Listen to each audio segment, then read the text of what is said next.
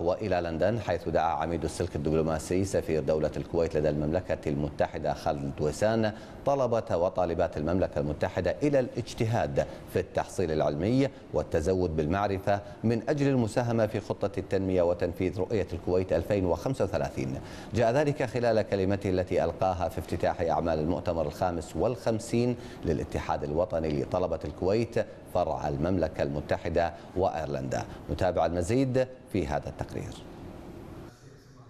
المؤتمر الخامس والخمسون للاتحاد الوطني لطلبة دولة الكويت. فرع المملكة المتحدة وإيرلندا افتتح أعماله تحت عنوان القصر الأحمر. بحضور عدد كبير من الطلاب والضيوف من دولة الكويت يتقدمهم سفير دولة الكويت في لندن خالد الدويسان الذي حث الطلاب على البعد عن الخلافات والتركيز على الوحدة الوطنية مشددا على أن سمو الأمير دائما يؤكد على ضرورة الانتباه للأوضاع الإقليمية والأخطار الخارجية. فإحنا ككويتيين يجب أن نحافظ على هذه البلد العزيزة والحبيبة إلى قلوبنا والتي قدمت لنا الكثير ونتمنى لها الاستقرار والسيادة والهدوء في جو مضطرب. وكما قال صاحب السمو أمير البلاد حفظه الله وان شاء الله نكون تحت رعايته في عمر طويل.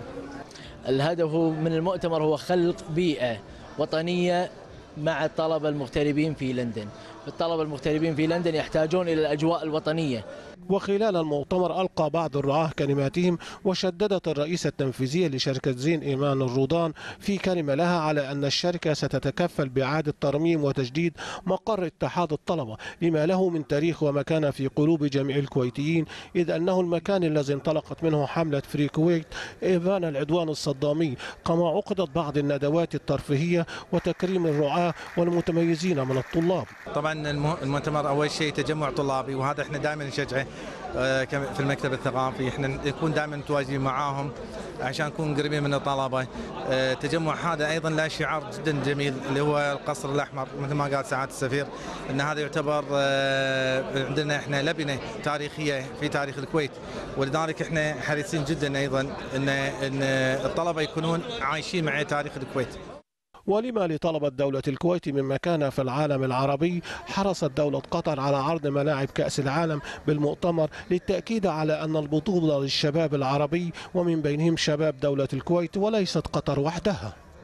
الحضور الكبير في المؤتمر السنوي لاتحاد طلاب دولة الكويت فرع المملكة المتحدة وإيرلندا يؤكد على اهتمام دولة الكويت بالتعليم ومستقبل الشباب. جمال شاهين تلفزيون دولة الكويت لندن.